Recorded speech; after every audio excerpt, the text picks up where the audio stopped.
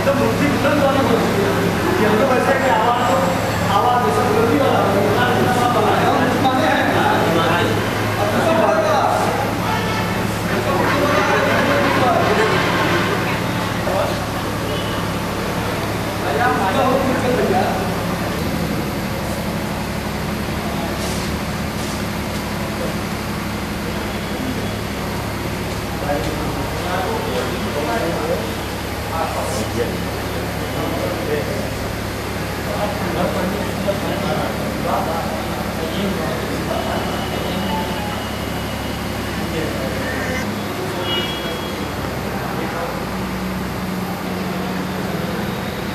विगत एक माह से हम लोगों का चल रहा है। पहले हम लोगों ने 16 से 25 तारीख की सामूहिक अवकाश कार्यक्रम के तीसरे दिन हम लोगों ने आज अपने संगठन की मांगों पर, तीन सूत्रीय मांगों पर जन जागरूकता हेतु, आपसी जागरूकता हेतु एक परिचर्चा का आयोजन किया गया। है जो कि हमारे कार्यक्रम में निर्धारित था पहले से।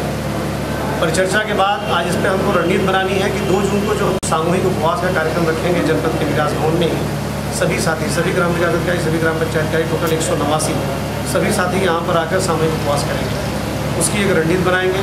साथ ही पाँच जून से जो अनिश्चितकालीन आमरण अनशन जो शुरू होगा, आमरण अनशन जो शुरू होगा प्रदेश में हमारे, उस पर भी एक रणनीति हम लोग बनाएँगे, जिसको लेकर यहाँ पर यह कार्यक्रम आयोजित किया गया। है और सरकार से यह मांग है कि हमारी तीन सूत्रीय मांग, वेतन विसंगति को लेकर, जिस शैक्षिक योग्यता को लेकर और प्रमोशन को लेकर। शैक्षिक योग्यता इंटर से ग्रेजुएशन की बात हमने की है, सी ट्रिपल सी से हम बढ़ाकर वो लेवल करने की बात है। वेतन विसंगति में ग्रेड पे अट्ठाईस सौ करने की बात है तथा 10, 16, 26 साल में समय समय पर प्रमोशन देने की बात है। इन तीन सूत्रीय मांगों को लेकर ही हम लोग आंदोलनरत है और जब तक ये तीन सूत्रीय मांग हम लोगों की मांगी मानी नहीं जाएगी शासन मानेगा नहीं हम लोग अपना आंदोलन जारी रखेंगे। सभागार में चल चल रहा है तीन सूत्री मांग को लेकर के और तीन सूत्री मांग जैसा कि हमारे जनपद मिर्जापुर के संयुक्त समन्वय समिति के अध्यक्ष श्री राकेश तिवारी जी ने बताया और अ, इस कार्यक्रम को लेकर के आज लोगों का सामूहिक अवकाश का तीसरा दिन है। इसके बाद हम लोग दो तारीख को सामूहिक उपवास करेंगे।